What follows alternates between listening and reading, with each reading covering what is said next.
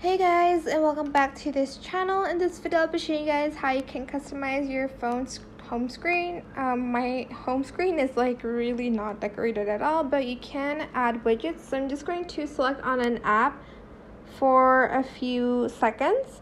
Select the plus button here and then you can add in some widgets. Um, you can add TikTok, you can add apps, you can add, edit this widget and choose the board to get started. You can add a Pinterest board, so you can select it. Um, and I'm just going to select add widget.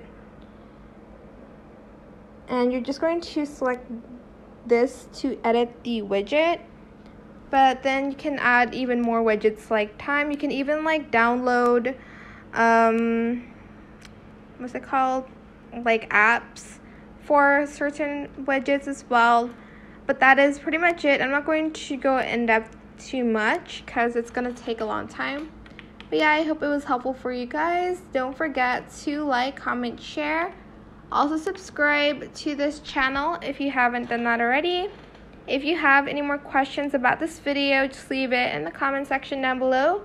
I'll try my best to answer them all for you guys. And if you found this video helpful, please click the thanks button as well that is it for this video. Thank you so much for watching. Bye.